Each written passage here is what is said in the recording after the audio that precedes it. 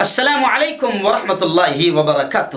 ناظرین، استقبال ہے آپ کا viral news live studio Jalgaon Maharashtra, India میں۔ میں آپ کا میزبان مفتی ہارون ندوی۔ آئیے ڈالتے ہیں اتر پردیش کے مراد آباد تھانہ بھوجپور شیتر کی ایک بہت ہی خاص بڑی خبر پر ایک نظر۔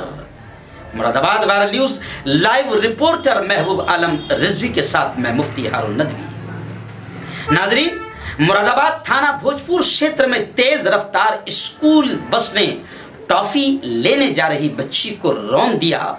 جگہ پر ہی اس بچی کی موت ہو گئی۔ غصائی عوام نے ڈرائیور کی جم کر پٹائی کر دی۔ بعد میں پولیس کو سونپ دیا۔ بھوجپور کے نیشنل پبلک اسکول کی چھٹی کے بعد بس بچوں کو چھوڑنے کے لیے جا رہی تھی۔ دھارک ننگلا مراد آباد روڈ پر تیز گدی بس نے روڈ پار کر رہی مزدور ارشاد علی کی پوتی الفضا کو رون دیا۔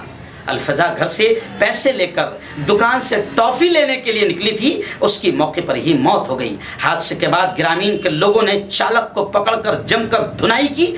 اس کو دیکھ کر بس میں بیٹھے اسکولی بچوں میں بھی چیخ و پکار مچ گئی۔